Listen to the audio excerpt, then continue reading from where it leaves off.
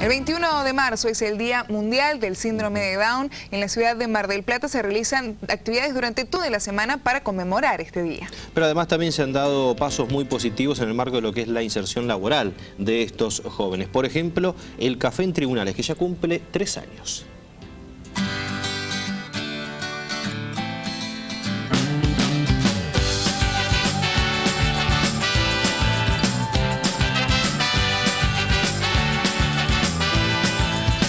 El tercer año del desarrollo de nuestro cafecito de tribunales con todos los jóvenes que me están acompañando en este momento, los padres y bueno, los jueces y fiscales que se han acercado a saludarnos para festejar. Realmente es un logro muy importante que estemos eh, trabajando con la justicia porque es un lugar que ¿cómo puedo decir?, privilegiado el hecho de que de acá pueden salir muchas cosas importantes que hacen a mejorar la calidad de vida de, nuestros hijos.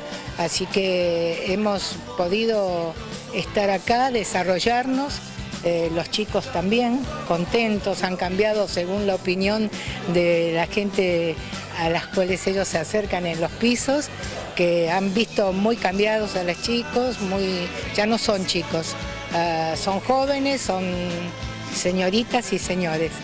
Cuando ingresamos acá, eh, veníamos con el corazón en la mano pensando qué pasaría con nosotros, con nuestro futuro, porque todas estas cosas que emprendemos siempre eh, tenemos que pensar cómo van a llegar, si llegan bien, mal, regular, todo eso cambia la imagen.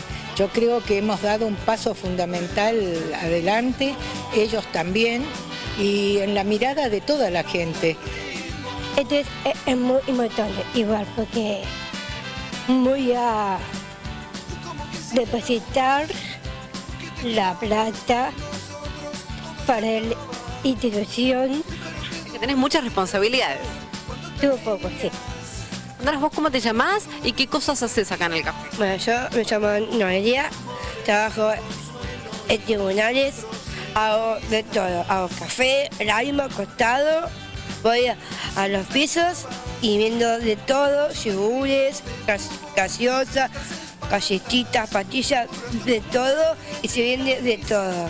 Hace, hace la casetita de panadería, hace una masa seca para hacer los pisos y, para vender cosas para la gente, para pedir cosas y soy la plata, yo manejo bien, ya hacer la, cuenta. ¿Café es lo que más se vende acá? Sí, varios cafés y todas golosinas, todas galletitas, todo un poco. Son las que elaboran ustedes también. Sí. ¿Habías trabajado en otro lugar o este es tu primer trabajo?